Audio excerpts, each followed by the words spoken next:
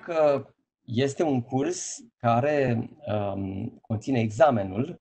Uh, examenul de obicei se dă la finalul uh, cursului, în ultima zi. E adevărat că acum ne-am readaptat un pic apropo de uh, situația aceasta uh, mai delicată în care uh, toată planeta se află și în care, iată, întâlnirile sunt mai mult online ceea ce nu e rău deloc. Începem poate să comunicăm mai mult decât doar să scriem mesaje pe WhatsApp.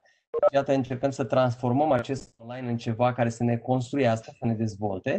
Uh, și în, uh, am susținut deja o mulțime de cursuri ITIL în online. Deci, examenul se dă de obicei în ultima zi. În cursurile online, participanții vor, fi, uh, vor primi un voucher de înregistrare și ei se vor înregistra cu ideea că examenele acum se pot da de acasă. Uh, așa numitele uh, sisteme de tip Proctor Exam, uh, în care ne conectăm la un sistem online de examinare, sigur, cu camera web deschisă, avem un, o persoană care are grijă de noi, ne evaluează, ne monitorizează, este acel invigilator da, care stă cu ochii pe noi, astfel încât, sigur, examenul să fie foarte ok realizat și să nu cumva să ne uităm pe notițe. Nu? Uh, deci, uh, validarea cunoștințelor este, uh, să zicem, la cel mai înalt nivel. Este un examen care este foarte serios, are 40 de întrebări grilă. Avantajul este că fiecare întrebare are doar un singur răspuns corect, deci nu avem cum să ne încurcăm din punctul ăsta de vedere.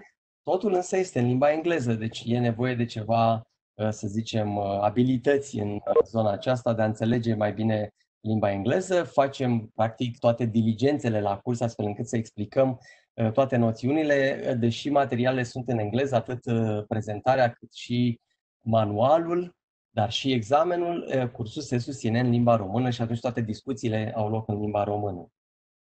Durata de obicei este de 60 de minute, dar pentru că nu suntem uh, vorbitori de nativ de limbă engleză, uh, ni se acordă 15 minute în plus și e important uh, în cazul în care ne conectăm și uh, timpii de examinare sunt doar de 60 de minute să cerem acest lucru uh, persoanei care evaluează examenul. Pentru a obține certificarea este nevoie să răspundeți corect la 26 de întrebări. Deci, practic, 65% uh, ar trebui să fie răspunsuri corecte.